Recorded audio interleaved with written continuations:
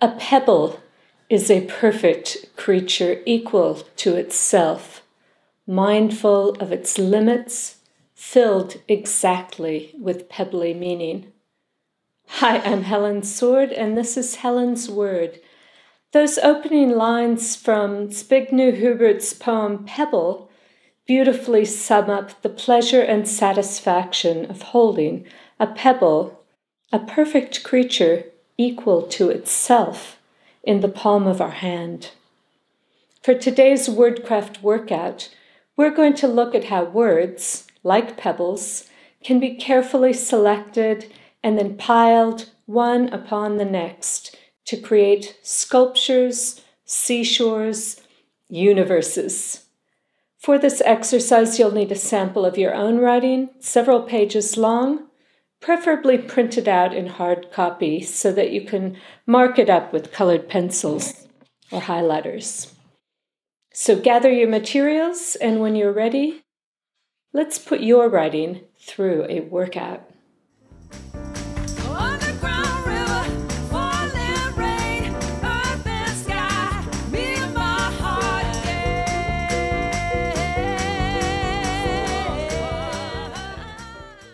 I'd like to start by looking at a paragraph that appeared in The Economist in December 2020 as part of an article called A Universe of Stones. It chronicles the creative work of Rory McCormack, a Brighton fisherman who fashions and displays entire sculptures built from pebbles. The unnamed author of the Economist article offers us a beautiful description of the Brighton beaches where McCormack finds his materials. Pebbles, as opposed to stones, have certain qualities. They're smoothed by wind or water, and mostly of a size that fits the hollow of the palm of a hand. There are plenty here. 614,600,600, pub quizzers say.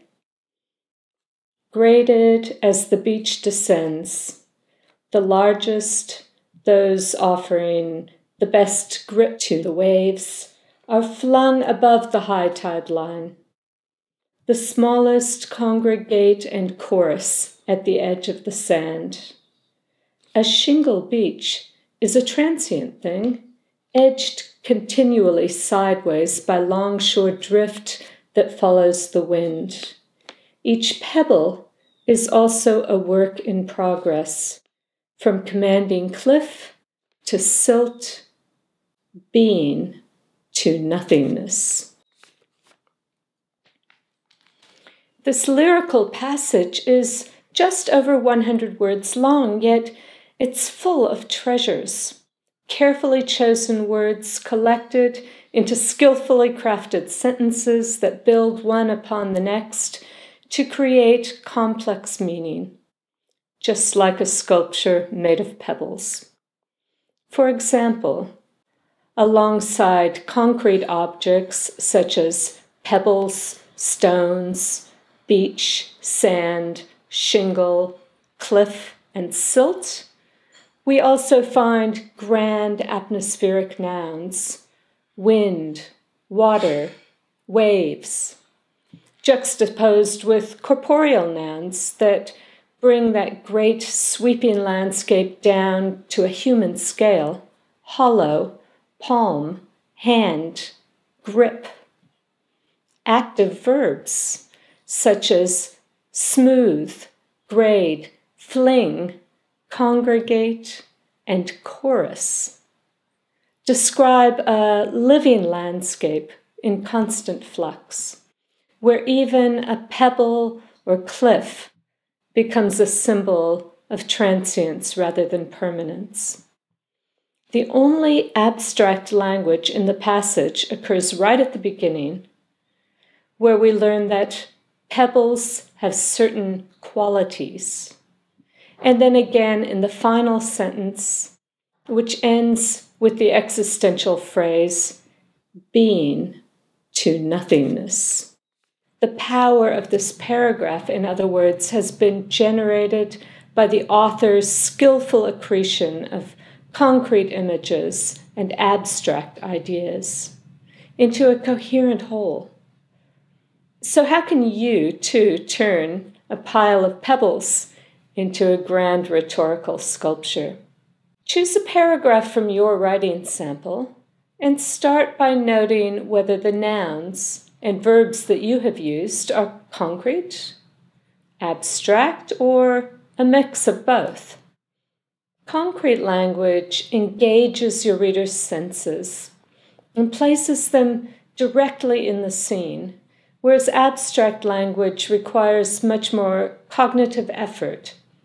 So, the author of a well constructed sentence or paragraph is always attentive to the balance of concrete imagery and abstract ideas. Next, read each sentence aloud, paying careful attention to word choice, rhythm, syntax, and sound. Each word, each pebble must not only be carefully chosen, but also just as carefully placed in relationship to the others around it. Have you tossed your pebbles together into a heap, or piled them up, one upon the next, to create a harmonious whole. I'll finish up here with the final lines of Herbert's poem, in which the word pebbles could just as well be replaced with words. Pebbles cannot be tamed.